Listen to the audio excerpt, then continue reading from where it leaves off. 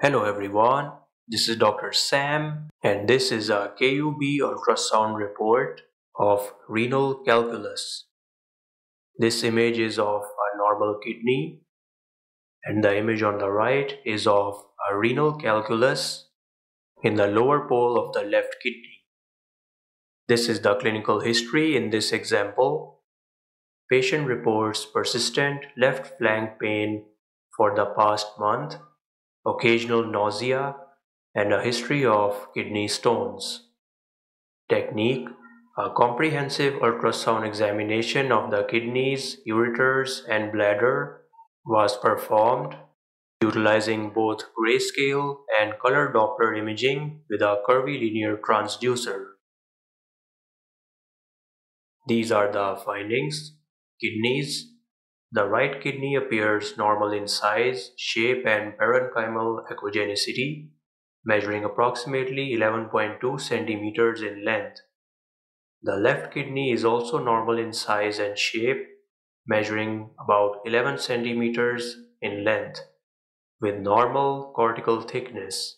However, there is a notable echogenic focus in the lower pole of the left kidney measuring approximately 6 mm, exhibiting posterior acoustic shadowing consistent with a renal calculus.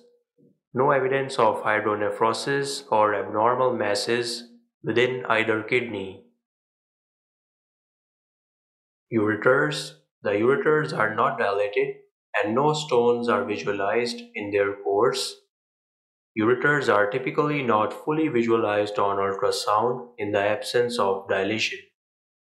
Bladder The bladder is adequately filled, demonstrating normal wall thickness and no intraluminal lesions.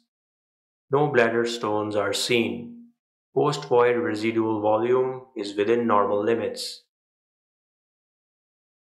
This is the impression a 6 mm renal calculus in the lower pole of the left kidney with posterior acoustic shadowing indicative of a stone with significant density. No hydronephrosis or ureteral dilation suggesting that the stone is currently not causing significant obstruction. Normal findings in the right kidney and bladder.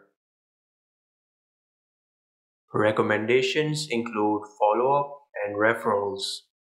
Given the presence of symptomatic renal stone, patient management may include increased fluid intake, pain management, and monitoring for signs of obstruction. Follow-up imaging or urology consultation may be warranted for persistent symptoms or if complications arise. Consideration for non-invasive stone removal techniques or lithotripsy if there is no spontaneous passage of the stone or in case of worsening symptoms.